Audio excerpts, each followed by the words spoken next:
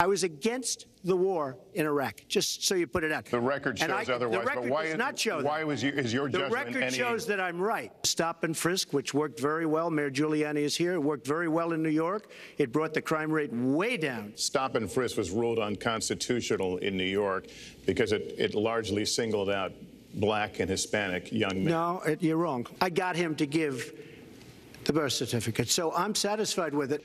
The birth certificate was produced in 2011. You continued to tell the story and question the president's legitimacy in 2012, 13, 14, 15, Yeah. as recently as January. So the question is, what changed your Well, mind? nobody.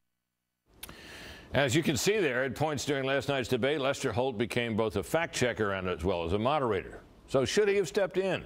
Here to discuss that is a media reporter and columnist for The Hill, Joe Concha. Welcome, Joe. Hey, Brett, Your how are you? thoughts? Your thoughts? on last night. Yeah, and, and on on Lester Holt. Lester Holt role. came in as a nonpartisan, one of the last nonpartisan broadcast newsmen out there. He exited with probably about 40, 45% of the country now thinking he's Candy Crowley 2.0. Fair or not? I think fair. Really? Because if you look at the numbers, right, this isn't a partisan type of analysis that I'm about to give. But the fact is that he followed up with Donald Trump, follow up questions, fact checked six times. Hillary Clinton, zero. But more importantly, Britt, I, I kept a notebook of all things that are weaknesses and all things that are strengths of Hillary Clinton and Donald Trump and checked them off as the debate went on to see who, what he would be asking those particular candidates. And for Trump, I had not releasing tax returns, birther issue, and temperament. For Clinton, I had mishandling of classified information, destruction of evidence, Clinton Foundation, and her health.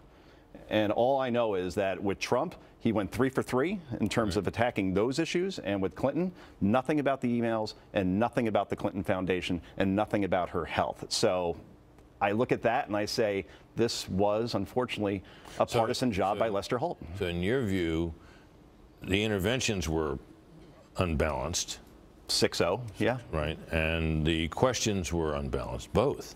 I thought so, yes. What about the fact that, that for the first part of the debate, when Trump was kind of on a roll and he was being very aggressive Mm-hmm. and he dominated the stage, and Holt let it play?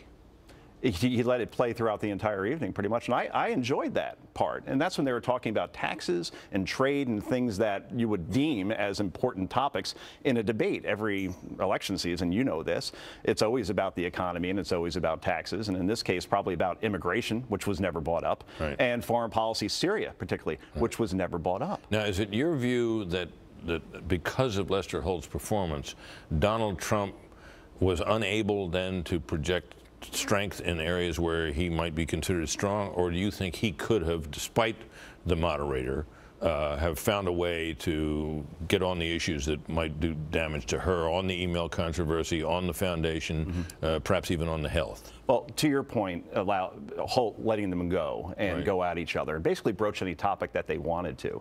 Trump didn't take advantage of that. The biggest moment that he had to do this was when one broad topic was cybersecurity. Oh my God. So you could very easily pivot to what I saw as Clinton's biggest weakness, which was mishandling of classified information. And instead, he talked about 400 pound guys you know, breaking into, or basically hacking, and about his 10 year old son knows how to work an iPad really well. So let's not place this totally on Lester Holt in terms of why Trump didn't have a good night. He showed his an experience by not broaching topics to go after Clinton with, even when the question wasn't about those particular topics. Joe, thanks. Interesting analysis. We got to go. And the first debate is in the books, but there are